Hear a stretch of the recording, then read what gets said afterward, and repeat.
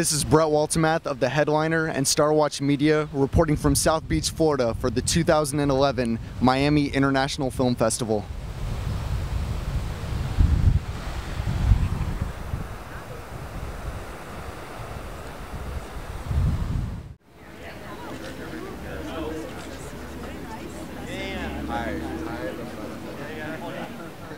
Star Watch Media. Um, first, please tell us just what inspired you to take on this project.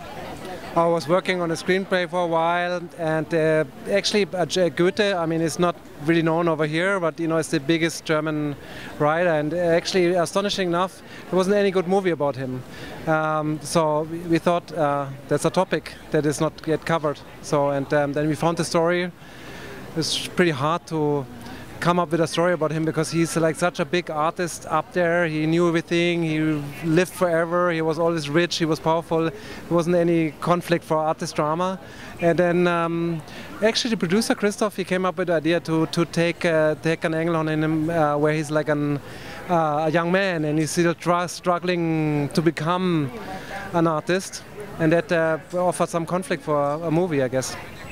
Now, we're also talking about a man that is generally considered to be the just uh, the superior writer for German literature. Oh, totally, yeah. How, um, what made you feel that uh, Alexander would be the best for that role?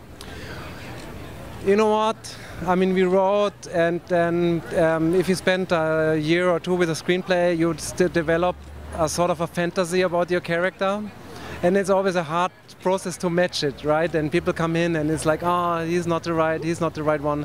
Uh, but Alexander, he just came in, and um, he was right. I knew it after like one minute. Um, even though you know original Goethe was had dark hair and Alexander is a really a blonde guy, but it, his whole character, the way he acted out the scene, it just felt so right and so inspiring that I was like I was like a great moment, like because you you, you know like for this a part like that you can look for months and months and then obviously there you have like he's not i mean now he people know him. Uh, he's not back then when we casted him he wasn't like a big name. And obviously there was all these like producer and distributor guys that said well let's have a name. And i just felt he was the only one for me what are the plans for distribution here in the States? Um, it's going to be distributed in uh, June, and uh, Music Box, who did also my previous film North Face, uh, will distribute it. And so I guess um, you know we're really lucky to to uh, find some audience over here. They are specialized in foreign movies, and they're really good in doing sort of platform releases.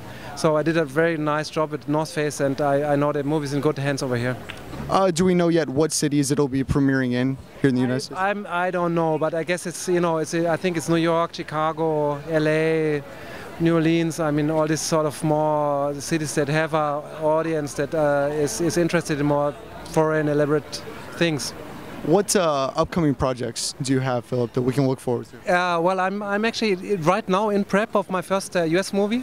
Um, it's a thriller starring Aaron Eckhart and uh, we're going to shoot in five weeks. So I'm just taking a little little break off to come here, and then we'll start shooting in Montreal and in, in Europe.